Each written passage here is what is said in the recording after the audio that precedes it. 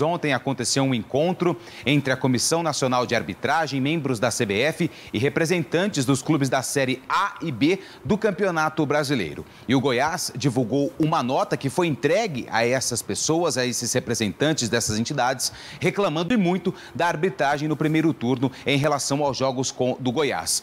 Jogo contra o Corinthians, jogo contra o Fluminense, pênaltis, pênaltis que o Goiás teve a seu favor e não foram marcados. Essa nota está no site do Goiás. O torcedor que quiser acompanhar tem acesso a esse documento que foi entregue aos representantes da Comissão Nacional da Arbitragem. Dentro de campo, o técnico Jair Ventura aproveita a semana cheia, até porque o próximo compromisso do Esmeraldino acontece no sábado, às quatro e meia da tarde, contra o Coritiba, na Serrinha, Arthur. Muito obrigado, Antônio Lupe. Marcelo Borges, e aí, dá certo essa reclamação oficial à CBF? Na verdade, o Goiás faz a parte dele. E é o que tem que ser feito. Parabéns ah, para quem elaborou isso lá por parte do Goiás, mas a gente sabe que o erro vai continuar acontecendo.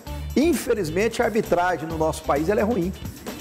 E esse VAR chegou para atrapalhar mais ainda. E o Goiás muito prejudicado não, nessa passagem, não. né? Você está sendo educado. O Goiás foi roubar, o Goiás foi assaltar. Sabe quando você vai entrar no seu carro, o cara te põe uma arma? Foi o que aconteceu com o Goiás nesse primeiro turno. Só que sem arma. Sem arma. O Goiás fazendo a parte dele. O Goiás, nesse primeiro turno, ele jogou no limite. Por que, que eu pedi aqui inúmeras vezes a renovação de contrato do, do, do, do treinador, do Jair Ventura? Faz um trabalho maravilhoso. É aquilo que ele tem nas suas mãos.